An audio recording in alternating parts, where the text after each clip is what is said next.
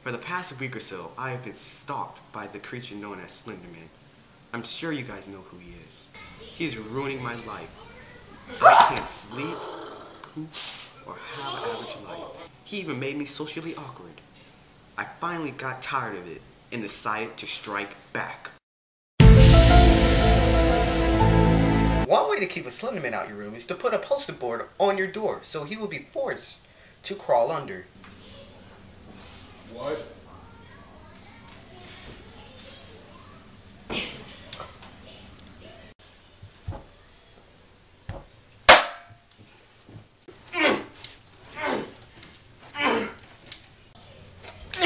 Another way to get rid of the Slender Man is to hurt his feelings.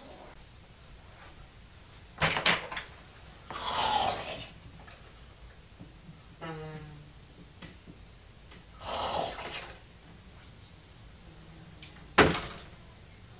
what? Dude!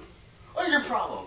Why are you here? You have no life, no friends, you are forever alone, you're just a child molester in a forest by yourself. You need just go home and leave me alone.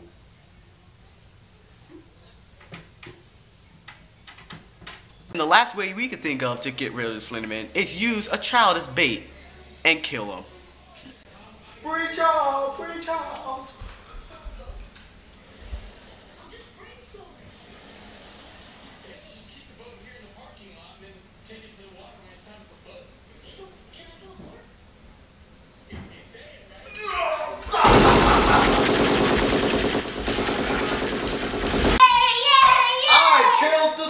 thunder around